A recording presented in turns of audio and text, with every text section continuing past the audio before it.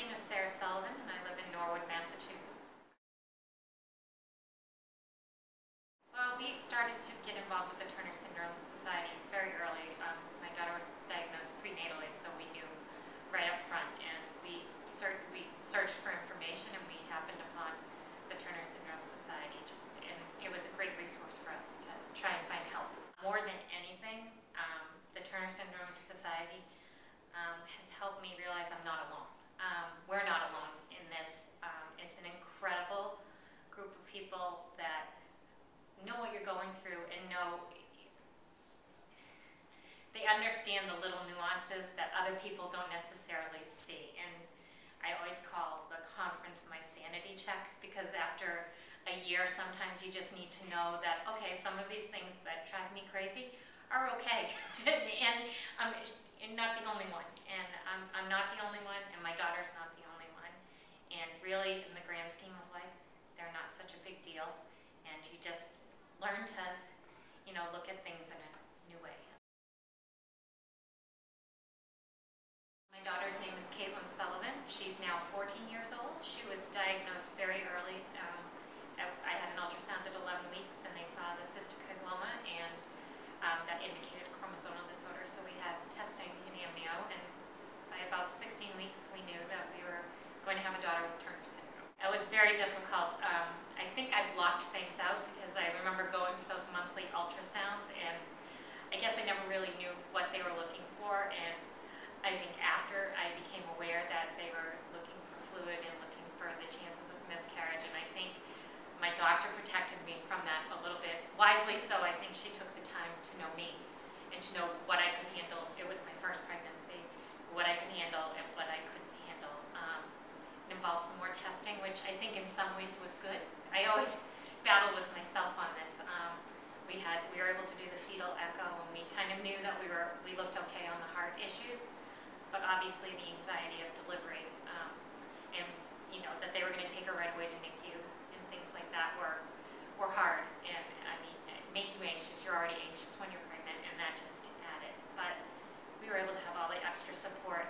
We we went to a hospital with an, a NICU, which we were not starting at a hospital with a NICU. So it allowed us to make decisions that made it the best for all for all of us involved. Everything went well. Um, you know, she came out screaming and yelling. Um, she we were it was a long labor, so it was a C-section, but that was more because they were concerned about the heart, and I think they were very careful knowing the diagnosis.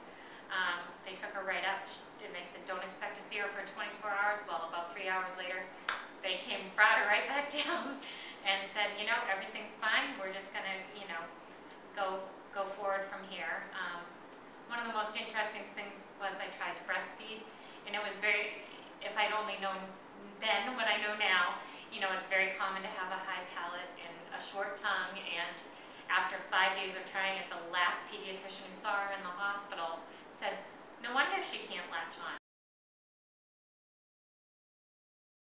Yes, my first bit of advice is don't be afraid. It's not the end of the world by any stretch of the imagination. I think with um, there's so many more positives to me than there are negatives. It's it's you know it's it's part of our lives, but it's just I guess how I always look at it is she has Turner syndrome, and you, it's just something she need you need to accept, and it, it doesn't define who my daughter is. My daughter is Caitlin, and Caitlin Sullivan is Caitlin Sullivan. She's not Turner syndrome Caitlin Sullivan. She's her own individual. She brings so much to the table and offers so much that, um, you know, just just encourage them to try things. And just because they say that your child may have learning disabilities, or just because they say you may struggle in math, it doesn't make it true. Um, you know, let them go after everything with the with all their gusto because they have a lot. I think. I think you have to be careful about how much research you do online. I think it's better to talk to people if you can find a person who's gone through the same experience um, as you. My doctor was really good about telling us, you know, if you find something, you need to call me and ask because not everything you read is completely accurate, and there's always another side or another three sides to a story. And I think I've learned that even going further along in the process.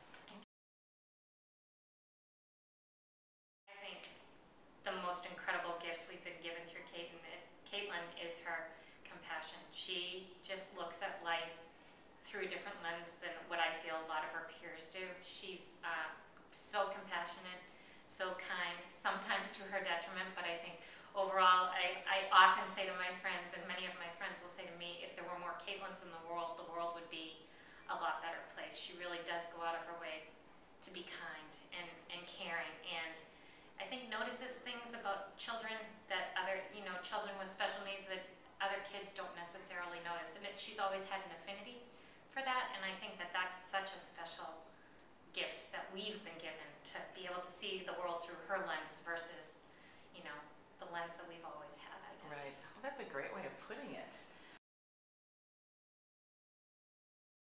My first struggle was the feeding. Um, even with bottle feeding, it was just at the time there was a certain brand of bottle that you could only find one place and that's the only one that worked and it was I think I went through every brand of bottle that was available before we found something that worked. She lost weight for the first month and even the pediatrician didn't realize that that was a natural um, a, a common occurrence with Turner syndrome children so we were in there every week for weighing and it was just a, a stress. I think that's been a struggle. I mean, that was a struggle as an infant. Um, going along, I think more so than anything, I think as a parent, Anxious at our checkups or when we're going to see the doctors. Um, I think, you know, you know everything's going to be okay, or you kind of believe everything's going to be okay, but there's still always that, okay, what haven't I thought of, or what haven't I done, who haven't I seen? There's no clear, there's the studies that tell you what you should look at and what you need to look at, but no one's an expert as far as I have found in Turner syndrome and we live in Boston, which is an incredible place for hospitals and doctors.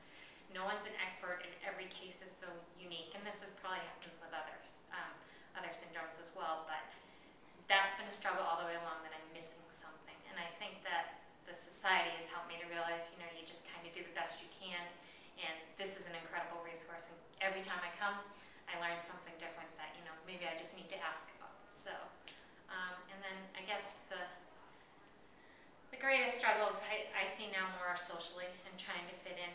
And, you know, sometimes I think Caitlin's not always comfortable with herself.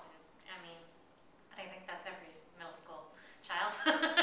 so I'm not sure that's necessarily unique, but, uh, you know, I think some of the social social um, struggles are are hard to watch as a parent, but I think that's probably with any parent. And, you know, there may be a few unique things with our girls, but they seem to get through